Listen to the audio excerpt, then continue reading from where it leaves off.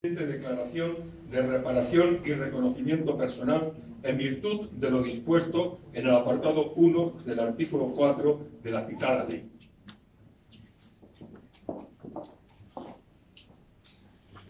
Mercedes.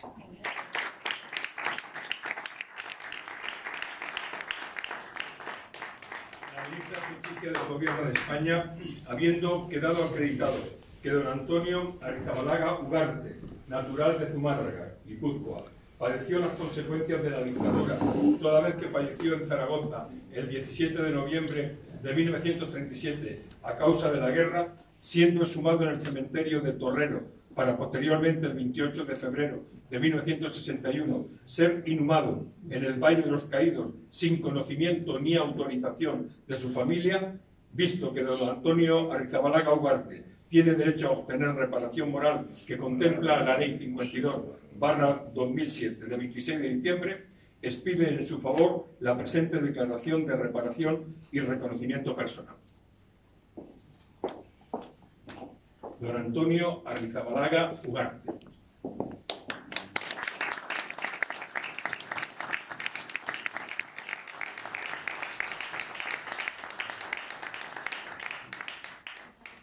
La ministra de Justicia del Gobierno de España,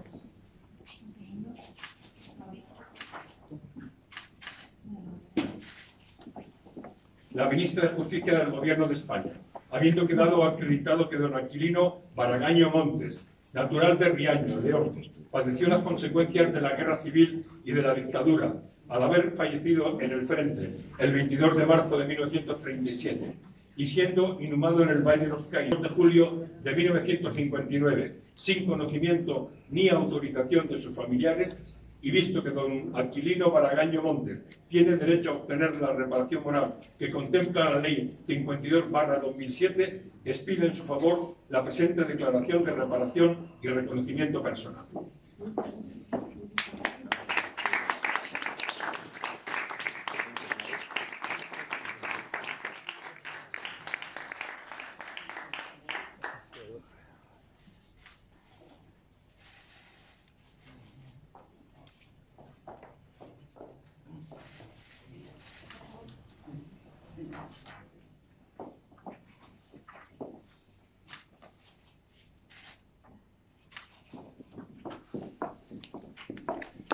La ministra de Justicia del Gobierno de España, habiendo quedado acreditado que don Antonio y don José Cansado La Mata, natural de Ateca, o naturales de Ateca, Zaragoza, de profesión labrador y jornalero, padecieron persecución y violencia durante la guerra civil por razones políticas e ideológicas, siendo detenidos el 22 de septiembre de 1936 y fusilados en, en Morata de Jalón el 30 de octubre con 11 hombres más conocidos como los Doce de Ateca.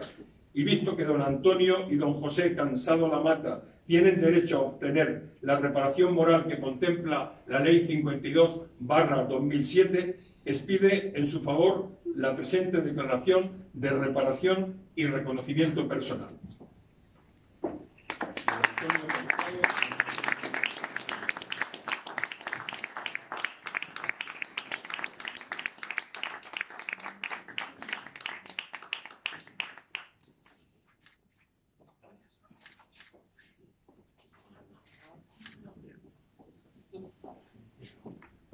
La ministra de Justicia del Gobierno de España, habiendo quedado acreditado que don Pedro Gil Calonge, natural de Castejón de Soria, padeció las consecuencias de la guerra civil y la dictadura, al haber fallecido el 1 de junio de 1937 en el Hospital Militar de, de Zaragoza, por heridas producidas en el frente de Almudévar, en Huesca, junio de 1937, y al haber sido inhumado en el Valle de los Caídos, el 16 de mayo de 1961 sin autorización de sus familiares y visto que don Pedro Gil Calonge tiene derecho a obtener reparación moral que contempla la Ley 52 2007, les en su favor la presente declaración de reparación y reconocimiento personal.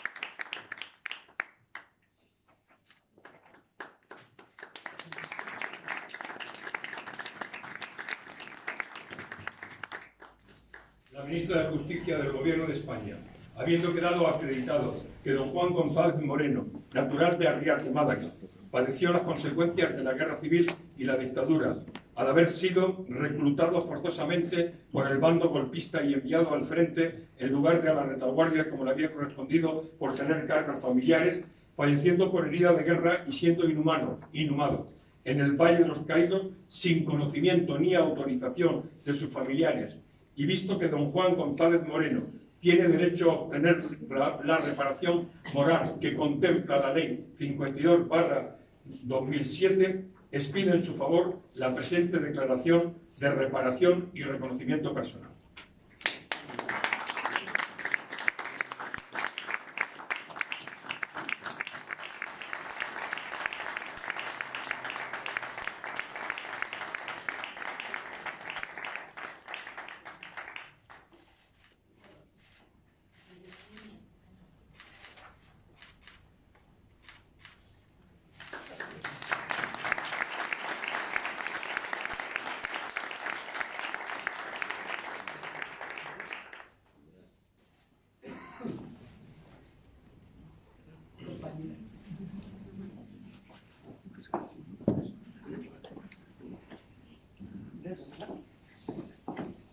La ministra de Justicia del Gobierno de España, habiendo quedado acreditado que don Leonardo Manuel Herrero Martínez padeció violencia y persecución por motivos ideológicos a causa de la guerra civil y las consecuencias de la dictadura, toda vez que fue fusilado en Munebra, Zaragoza, el 28 de octubre de 1936, siendo exhumado para posteriormente, el 8 de abril de 1959, ser inhumado en el Valle de los Caídos sin conocimiento ni autorización de su familia.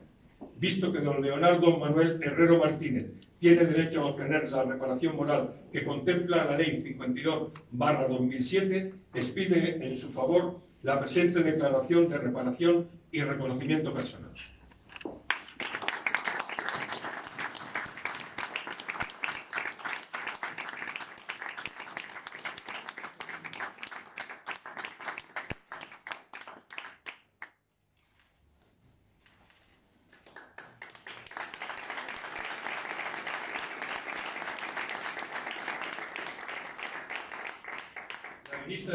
Del Gobierno de España, habiendo acreditado que don Antonio y don Manuel La Peña Altabás padecieron persecución y violencia en la guerra civil por razones políticas e ideológicas, al haber sido fusilados extrajudicialmente el 20 de octubre de 1936 e inhumados en el Valle de los Caídos el 8 de abril de 1959, sin conocimiento ni autorización de sus familiares, tal y como acordó el juzgado de primera instancia número 2 de San Lorenzo del Escorial en su auto de 30 de marzo de 2016.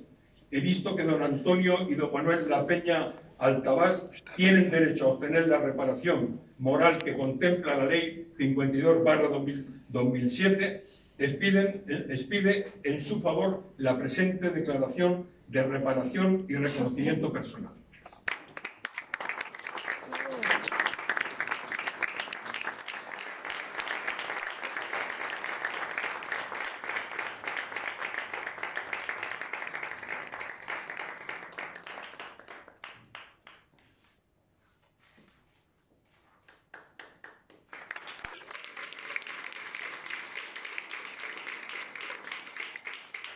la ministra de Justicia del Gobierno de España, habiendo acreditado que don José Antonio Marco Viezno padeció persecución y violencia durante la guerra civil por razones políticas e ideológicas, sufriendo un secuestro en su domicilio de Calatayud, para finalmente ser fusilado extrajudicialmente el 2 de septiembre de 1936. Posteriormente sufrió las consecuencias de la dictadura al ser exhumado y trasladado al Valle de los Caídos sin permiso de su familia. Y visto que desde que don José Antonio Marco Diezma tiene derecho a obtener la reparación que contempla la Ley de Memoria Histórica 52-2007, expide en su favor la presente declaración de reparación y reconocimiento personal.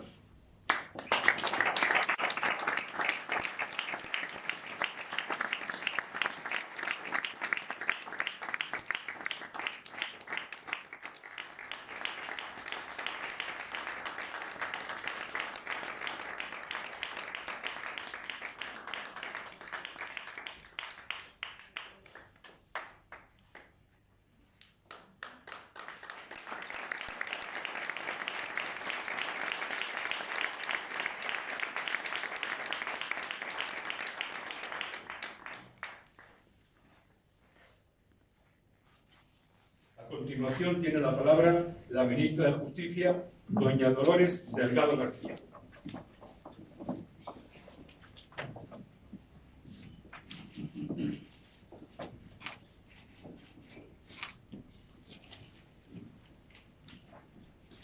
Buenas tardes. Buenas tardes a todas y a todos. Eh, lo primero que quería dar es las gracias al director general de Memoria Histórica por su convicción, por su esfuerzo, por su trabajo, por sus años dedicados a la memoria histórica, a la memoria democrática y a la memoria de todos, estamos hoy aquí. Eh, muchísimas gracias, Fernando. Muchas gracias.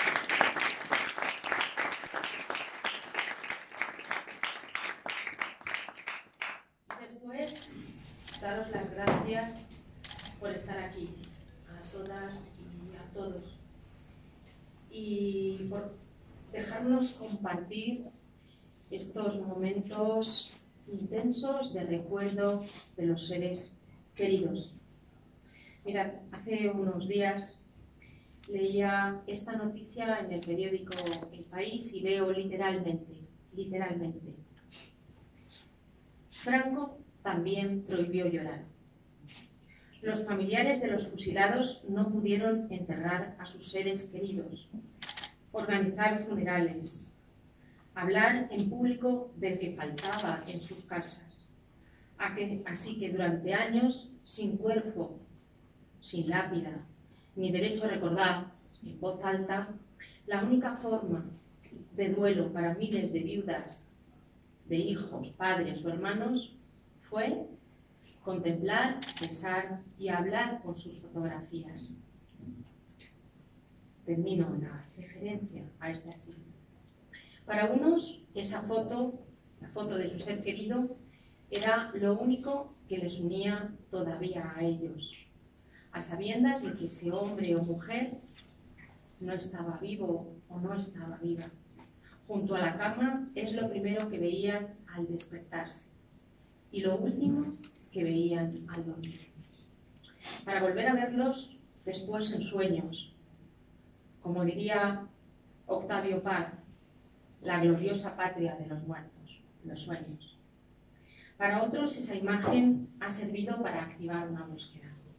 Sin más información que una fotografía y un nombre del que nunca se hablaba, un hijo, un nieto, un sobrino, seguía el rastro hasta dar con esa fosa. Esa fosa que encontraron después de 70 años de búsqueda.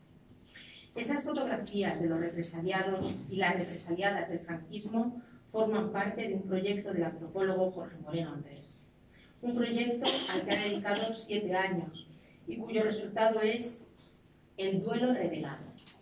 Un libro editado por el Consejo Superior de Investigaciones que analiza 1.500 imágenes de colecciones particulares y otras 4.000 procedentes de archivos españoles, franceses, estadounidenses y también mexicanos. Las imágenes fueron conservadas y heredadas pasando el tesoro del ausente de madres a hijas y de hijas a nietas como recordaban un asesinato, una desaparición, la prisión o el exilio, fueron ocultadas. Esas imágenes se ocultaron para no provocar, para no molestar, para no molestar al bando vencedor y no alterar de este modo la convivencia de la dictadura. El régimen franquista mató, pero además hizo desaparecer los cuerpos en fosas comunes. Invisibilizaba a sus víctimas. Por eso estos retratos familiares eran, son una forma de dignidad humana. Estimadas amigas, estimados amigos, este es un sencillo acto, nos reúne aquí y a pesar de, como veis, la humildad es para mí, tanto a nivel personal como a nivel político, uno de los más importantes que voy a recordar como ministra. Yo os lo digo de todo corazón. Hemos organizado este acto institucional para dar visibilidad a las víctimas, a sus familiares y recordarles sin miedo. Y recordarles también, ¿por qué no?, con alegría, con esta alegría del momento. Sabéis que la palabra recordar viene del latín recordari, formada por el prefijo re, que significa de nuevo, y cordis, que significa corazón. Recordar quiere decir mucho más que acordarse de algo o acordarse de alguien. Significa literalmente volver a pasar por el corazón. Y este sobrio pero sincero acto es una muestra de ello. Es un acto honesto. Es volver a pasar por el corazón a nuestros seres queridos, a los seres que estamos recordando ahora, recordando ahora en este momento. Un acto así ahora desde el Estado para recordar la historia de nuestro país, que fue tanto tiempo silenciada. Un acto para reparar la memoria, recuperar la dignidad y cumplir con el reconocimiento de las víctimas de la guerra civil, de sus familiares y de la dictadura franquista. Hoy entregamos 11 certificados de reparación. El reconocimiento personal a 11 personas que padecieron la persecución y violencia por razones políticas e ideológicas, que fueron detenidas ilegalmente o secuestradas en su domicilio o fusiladas extrajudicialmente, que fallecieron en el frente y sin conocimiento de su familia fueron exhumados de un cementerio y recibieron sepultura también sin autorización de su familia en el Valle de los Caídos. Entre estos casos nos encontramos con los hermanos La Peña Altabás. Sus descendientes han conseguido por primera y única sentencia hasta la fecha que autoriza o ordena la exhumación del Valle de los Caídos, donde fueron inhumados. Una sentencia humanitaria que nos acerca a los olvidados de Calatayud. O el de Mercedes Abril, de 85 años, que el pasado 26 de febrero acudió a la cripta donde se encuentra su padre, cuando le detuvieron ilegalmente ella tenía tres años y no volvió a verle. Hace dos semanas fue la primera vez, en 82, que volví a estar cerca de él y afirmó sentirle más presente que nunca. Esa tarde del 26 de febrero también accedió al tercer nivel de la capilla del Santo Sepulcro del Valle de los Caídos Silvino Gil, de 83 años. Quería tener la oportunidad de ver de forma directa las cajas que contienen los restos humanos de su padre. Un agricultor de 26 años que fue reclutado, reclutado por el bando nacional, a pesar de tener un hijo de un año y estar su mujer embarazada de dos meses. A los pocos meses moriría Silvino Gil en el frente. Y tampoco quiero olvidarme de otra hija, Francisca González, de 82 años, a la que hemos dado la posibilidad de acceder al columbario donde está enterrado su padre también agricultor. Fue reclutado a la edad de 28 años por el denominado Frente Nacional e inscrito como soltero, siendo su situación real la de casado y padre de familia. Fallecería en un hospital de Jerez de la Frontera tras ser herido en la cabeza. En estos casos en los que me he detenido, son estos casos los que me he detenido, pero todos, todos los de las personas a las que hemos entregado el certificado de reparación, reconocimiento personal, nos enseñan, nos enseñan todas que nos une un único camino, el camino humanitario, el, camino de la humanidad, el camino de nuestra civilización. Los 11 certificados que entregamos hoy tienen como novedad que es la primera vez que se han tomado muestras de ADN a los familiares de las víctimas de la guerra civil que están enterrados en el Valle de los Caídos y esto se hace desde el Gobierno de España. Técnicos del Instituto Nacional de Toxicología y Ciencias Forenses centro adscrito a este Ministerio de Justicia, han tomado muestras de ADN para localizar a los olvidados, a estos héroes que dieron la vida por la democracia y que algún día serán devueltos a sus familias. Gracias a esta sensibilidad sin precedentes en la historia de la democracia, se pone en marcha una compleja operación necesaria para la creación de un Banco Nacional de muestras genéticas que permita la identificación de los miles de cadáveres de víctimas de la guerra civil y el franquismo que aún permanecen tirados. Y digo tirados, digo tirados, no enterrados, porque un entierro digno es lo que en derecho reclaman la familia, porque esto es lo que es Como bien sufrís, la fosa más grande de España es la del Valle de los Caídos, o Cuelgamuros, que es su verdadero nombre, donde yacen los restos de 33.833 personas, de ellas 18.000 eran republicanos. Estimados amigos, estimadas amigas, la memoria es un ejercicio de reparación, de justicia y de verdad para todas las personas que tienen familiares desaparecidos en fosas comunes en España. Los cuerpos nos cuentan la historia, una historia que es testimonio latente, que está deseando ser contada a través justamente del reencuentro de los seres queridos. Por este motivo, con la entrega de estos certificados de reparación y reconocimiento personal, estamos recuperando la memoria frente al silencio y recuperando la memoria frente al olvido, a la vez que reforzamos nuestros valores democráticos y ponemos fin de una vez por todas a una injusticia que fue en sí misma una guerra civil, a una injusticia que fue en sí misma una dictadura. El artículo 4, como recordaba el director general de Memoria Histórica, de la Ley de Memoria Histórica, reconoce el derecho a la reparación moral y al reconocimiento personal de quienes durante la guerra civil y la dictadura padecieron persecuciones, condenas, sanciones y cualquier otra forma de violencia personal por razones políticas, ideológicas, de creencia religiosa, culturales, lingüísticas o de orientación sexual.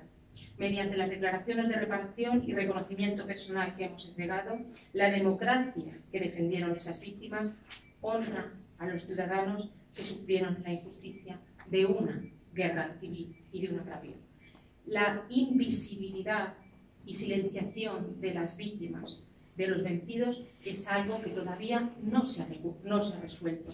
Y una sociedad democrática del siglo XXI no puede seguir mirando hacia otro lado, ignorando a las víctimas, a los sobrevivientes o a quienes buscan esclarecer unos hechos.